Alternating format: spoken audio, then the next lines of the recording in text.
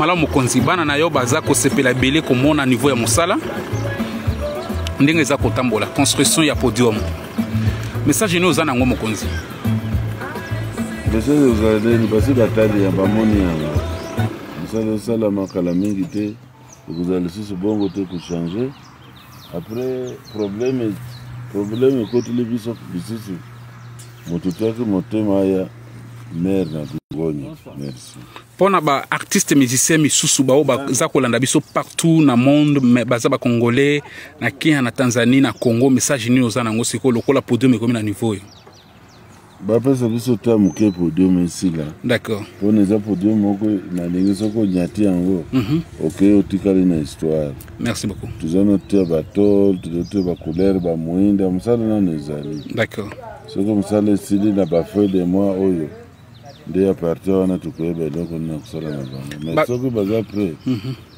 tokoinvite bango bayaka bamusala na bango ezali kosepelisa bato malamu ya awa toza katikati ya arua gulu lira na kasongola yeah.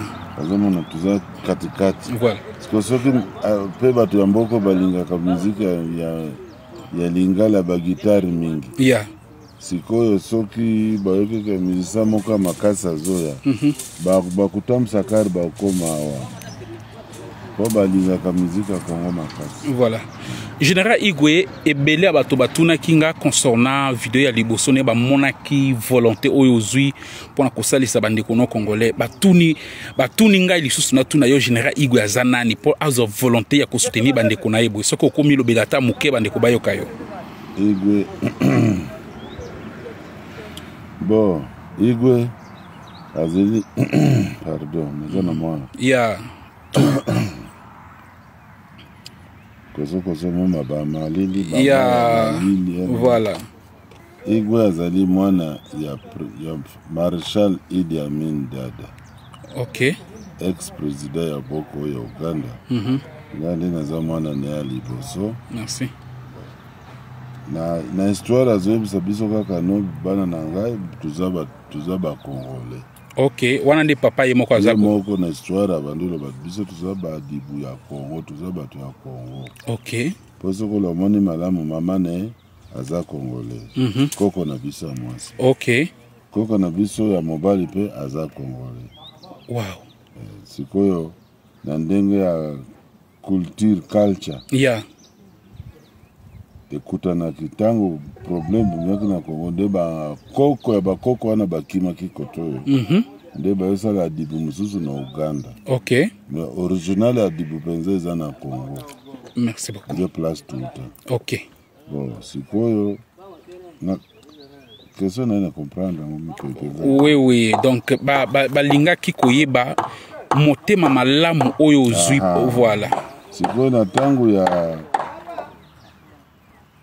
na ba 70 na ba 78 wana mm -hmm. coup d'etat esalamaki ok nde vie na biso ayebisi biso no bana ngai soki kokende bokende zaire okay. ntango wana ezalaki zaire okay. mobutu akoyamba bino akosala bino mabe te mm -hmm.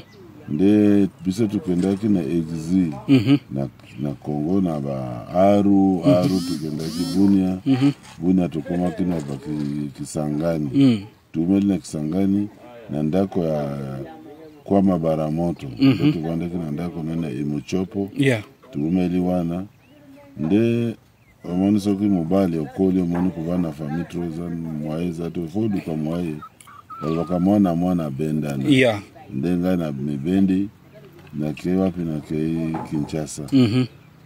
bon bolamu oyo namoni na kati ya zaire ti kongo ekomi ekotaki naza na kinshasa mm -hmm.